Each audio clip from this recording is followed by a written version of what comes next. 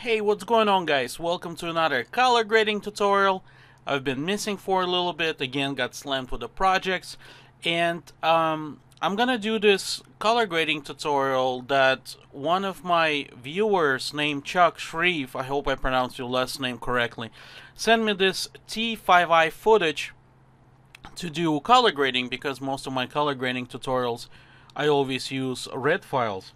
Anyways, um, one of the things that I want to show you, and I think it's actually kind of important, when I do my color grading work, I use a lot of external monitors for my um, actual workflow. Even though, you know, I only show the little window, I actually color grade from the external calibrated screen. Anyways, and one of the things that a lot of people have been asking online, I've noticed in the different color grading forums, is that when they try to set up the project, the external monitor, especially if they're using LUT, showing incorrectly. So I have another camera running to show my reference monitor, and I'm going to show you how to set it up, and that way you actually can have the consistency between your actual screen that you're working, like this one, and the external monitor. So I'm going to show you what I'm talking about. So if you're going to go to the preference over here, over here you have your project setting, whatever your color space is, so it's not really important.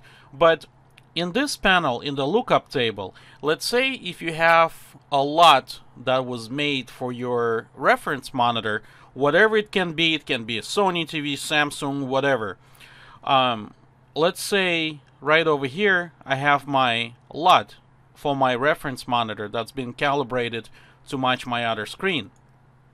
So a lot of people uh, use this setting and they click save, which is fine, but what it does, it's actually messing up your normal screen. So what you need to do in order for your reference monitor and your actual monitor to show the proper colors is over here where it says 1D color viewer and 3D color viewer you need to change this to no LUT selected, just like this. And once you have that selected, your external monitor, and for some reason, mine project doesn't allow me to to do this. I think because I reset it as a guest. Let me do it again really quick. There we go. So once you have no LUT selected over here, and once you click save, you can actually have both screens to show exactly the same picture, obviously if they've been calibrated correctly. Anyways, so I just wanted to throw this thing really quick out there before I'm actually going to do tutorial, because I know a lot of people ask me about, you know, the, the calibration questions. And uh, the next video, which I'm to post tomorrow, we're actually to do tutorial right on this material. So thank you guys so much for watching. Make sure to subscribe and I'll see you tomorrow for the actual tutorial on color grade. Thank you.